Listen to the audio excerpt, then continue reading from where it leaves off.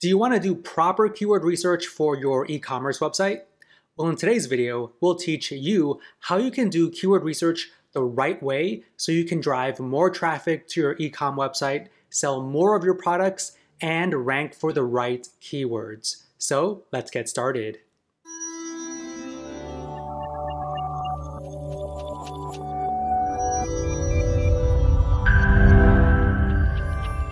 Okay, keyword research for e-commerce. So I would structure this process into three phases. The first phase is to create a list of seed keywords. Okay, so what is a seed keyword?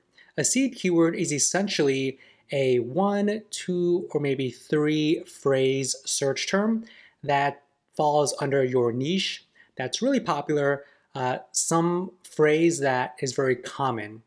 Okay, so let's just say we are a e-commerce website and we sell different dog products, right? We sell dog food, treats, and supplies, and we need to build out a list of seed keywords. So what you would do is uh, create an Excel spreadsheet and just list out the initial list of seed keywords. So for example, uh, dog food would be a seed keyword, uh, puppy food. I also would look at my main navigation to pull some of those seed keywords out. Okay, so look at your category pages, your subcategory pages, your product pages as well. Okay, so uh, dry dog food would be another seed keyword. Now, if you don't have an e-commerce website yet, what you could do is just basically ask yourself, uh, brainstorm by yourself, what types of seed keywords uh, that you can come up with and list those out. You can also look at your competitors as well. Get a list of your competitors, check out their websites, look at their main navigation, and see what types of uh, seed keywords you can pull. Okay, so I'm gonna click on dry food and let's dive in a little bit deeper. Look at here under the category section, there's adult, Okay, so uh, adult uh, dry dog food for adult dogs. Okay, that could be a seed uh, keyword. Uh, there's brands.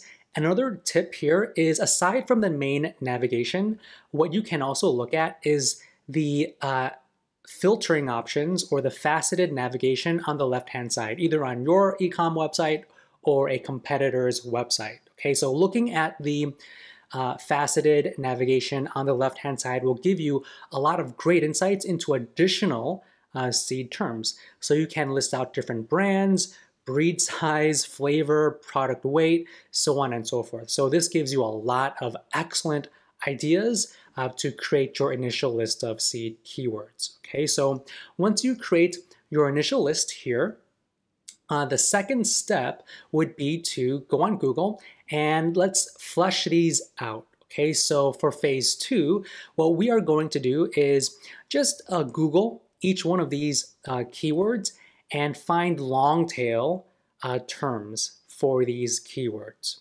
Okay, and we're going to put those long tail terms in separate tabs in our Excel spreadsheet. Okay, so let's start with uh, dog food. Okay, so we're going to go to Google and type in dog food. And for this keyword research process, we will be using the Keywords Everywhere extension. So make sure you have that um, installed either for Chrome or Firefox. And in the Google search results page for dog food, we have some very helpful widgets from Keywords Everywhere. Okay, so uh, you can check out these uh, data points right here, but I want to focus on the widgets with the keywords listed. Okay, so you can see some related keywords associated with dog food, and you can see some very helpful metrics for each one of these keywords. You can see the search volume, um, the average cost per click, the competition score from 0 to 1, 1 being the most competitive, and also the trend over the past 12 months. All right, so look at these widgets, and what you can do is star the ones that make sense for your e-commerce website. Okay, so look at the data, so maybe dog food brands might be a good one for us. Uh, let's see the next widget here. People also search for. So what other ter what other terms people are searching for when they type in dog food? Uh, let's see. Uh, dry dog food. That's a good one. Healthy dog food. All right, let's see what else. Trending keywords, uh, Dr. Harvey dog food. This might be a good one. It has over 6,000 searches a month. Uh, let's see. Fresh dog food delivery, Pure Harmony dog food. Okay, so as you can see here, it's getting a little bit more narrow, right? Long tail keywords, you could look at this widget here and star the ones that uh, make sense for your e-commerce uh, website, all right? Okay, and also what I like to do is click on this button right here, find long tail keywords for dog food. Okay, so Keywords Everywhere found over 1,400 uh, related keywords for dog food. Okay, so you could see this table here with a list of all of the keywords. You can see their respective search volume, the average cost per click, the competition score, the trend over the past uh, 12 months. And if you hover over the bar graph, you can see the exact search volume and then the trending percentage. All right, so go through here and see what makes sense for your ecom website. All right, so I see some types of dog food like dog food grain free, dog food uh, Beneful, which is a brand, good search volume. And when you star these keywords, if you click on the Keywords Everywhere extension, click on My Favorite Keywords, all the keywords that you've starred would be in this table, right? And then you can export this and analyze it at a later uh, date. Okay, so we're gonna go back here. So what I'm gonna do is actually um, export this table. So I'm gonna actually copy this.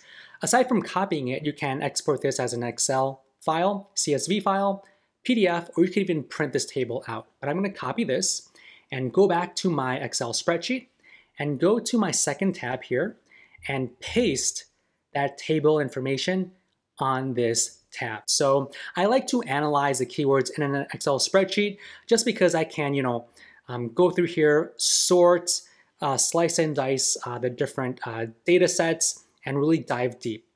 So I'm gonna go through here, see what makes sense. Um, I like to highlight the ones that I want to refer to or use on my e-commerce website all right? Look at the uh, search volume. It's really great to focus on keywords that have high search volume, but at the same time, you can look for the keywords that have a lower search volume because the keywords with lower search volume could still be very, very relevant for your ecom website. And then you can also look at the uh, cost per click, competition, the trending percentage, and also the uh, search volume um, it's split out here by column over the past uh, 12 months. I can also go back to my first tab and do the same process, right? So maybe uh, dry dog food, I can copy that, go back to Google and type that in and do that exact same process, all right? So that's how I would do phase two of this keyword research process for e-commerce uh, websites. Now, once you have a list of all the different tabs for each one of your seed keywords, the third phase is to figure out uh, what category they fit under and what you want to do with those keywords that you've uh, saved or highlighted. A, um, a keyword can be bucketed under, I would say, three main categories that fit in the sales funnel. All right, so there are navigational keywords. Now, navigational keywords are when searchers are looking for a specific website or a page. Maybe they are looking for a login page, maybe a specific brand name, a model number, a make. They want to navigate to that specific website or page. So that would be a navigational keyword. Now, there's also informational keywords. Now, these are when searchers want to know or do something like research the best dog food, right? So these are some additional keyword modifiers that might uh, indicate to you that these are informational keywords like um, comparison, maybe dog food comparison, dog food review, cheap dog food, best dog food, top 10, so on and so forth. Now, the third type of category would be transactional keywords. So these are when a searcher wants to buy something. So they are in the mindset of making a transaction, making a purchase. Okay, so these keywords are more revenue focused, right? They already went through the informational phase and now they are in that buying mindset. So some transactional keywords would have keyword modifiers like a discount, free shipping, buy now, coupon, uh, deal, right? So dog food discount, uh, dog food with free shipping, so on and so forth, right? So keeping this in mind, uh, what you can do is go back to your long tail keyword tab and just categorize the keywords that you've highlighted uh, by, by their informational category, transactional category, right? So I'm gonna insert a new column here and I'm gonna name it category. And I'm just gonna go through and just categorize uh, the keywords that are relevant to me, right? So best dog food, if we go back to our sales funnel categories, that's an informational term. So I'm just gonna put in informational so I know that we can potentially use this keyword as maybe a category page, a subcategory page, maybe a blog article. Let's go through here. Uh, let's see, dog food for allergies. This is an informational term as well. And let's see, let's do pounds. I know uh, pounds is a really popular keyword modifier that someone would search for if they are looking for uh, you know, dog food that's a specific uh, weight. So dog food container 50 pounds. That could be informational or transactional. I would say it's transactional in this case. People know exactly what, how much, how big of a, a dog food bag they want. This one is another one. Let's see what else. Uh, discounts. Let's see if there's anything around discount. Right, dog food discounts okay? And after you are done with phase three of categorize, categorizing these keywords, you now have a more uh, clear idea and plan as to how you can implement these keywords on your e-commerce website. So you can start ranking for these keywords, uh, drive traffic to your website, and ultimately uh, make sales from your e-com store. So hopefully you thought this video was helpful. Please hit that like button, subscribe to our channel, and if you want to check out our other videos, feel free to click any of the ones on the screen. So with that said, thank you, and we will see you in the next one.